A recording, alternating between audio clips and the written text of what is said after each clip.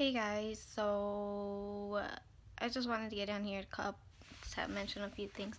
I'm on my bed. I'm gonna move down a little bit, hold on. So I can talk to you guys. My phone's on the charger and I don't want to take it off. But, um, yeah.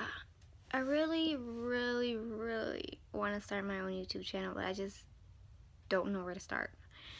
I mean, I shop a lot. I could do all kinds of hauls. I go to Dollar Tree, makeup, everything. Um, I just, it's kind of weird talking to a camera for the first time.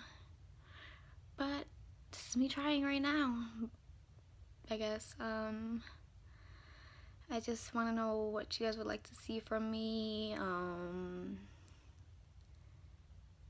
any requests, what you guys want to know. Maybe I could start with a Q&A my first time so you guys get a little get to know me a little bit better. Um, 22 years old. I live in Indiana.